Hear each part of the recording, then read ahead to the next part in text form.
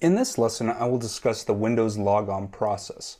The Windows logon process hasn't changed much from version to version, meaning from Windows 7 to Windows 8 to Windows 10. Uh, however, there are some things as system administrators you need to understand what Windows is doing behind the scenes to make sure that you can log into a system. So I'm going to start the authentication sequence, and this is called the secure authentication sequence.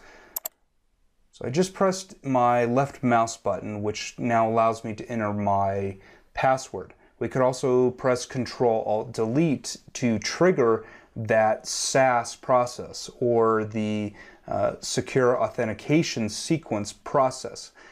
Prior to Windows 10, this was also called GINA, which was a graphical identification and authentication process.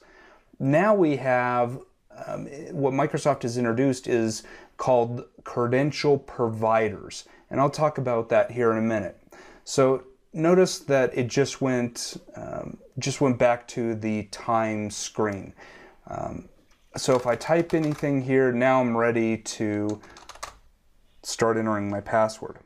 So I'm going to enter my password here. What's happening at the moment is I've just provided my credentials. The local security authority or LSA processes those credentials and they are converted into the same form in which they were stored in the account database.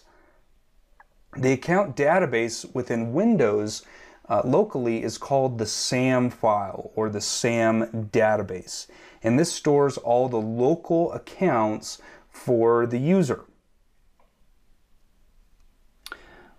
What happens is the LSA um, hashes uh, the password that I entered, checks to make sure that it matches the hash password inside the SAM file, and then um, I'm either allowed or authenticated into the system or denied if the logon is or the computer is joined to the domain, I have another I have other ways that Windows is trying to authenticate me um, to make sure I can get in. So this way is called Kerberos, and we talked about that in a, in a previous lesson.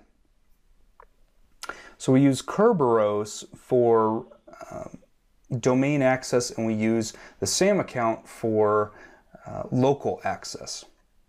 Now, the problem with Kerberos is that if I've never logged onto this domain before, I may not be able to get in. So right here, okay, I, I can see that I have internet access. Okay, it says connected. Now, if I wasn't able to connect to the internet and I had logged into this machine before, my local credentials uh, that are stored for the domain allow me to get in. Those are called cached credentials. However, if I've never logged in before, I'm not going to be able to get in because there's going to be no domain controller available for me to log in.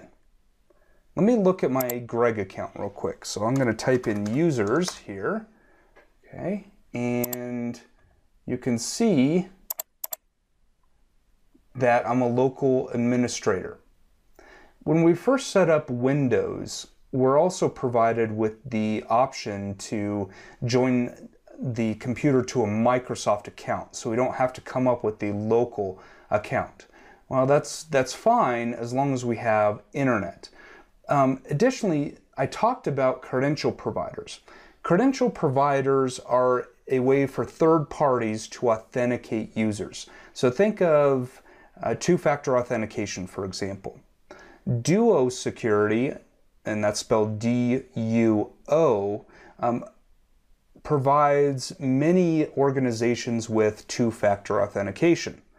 The problem is if an update is made to the system that locks down internet access and I'm not able to access the third party um, that I have the credential provider integrated with, then I've just locked myself out of that system.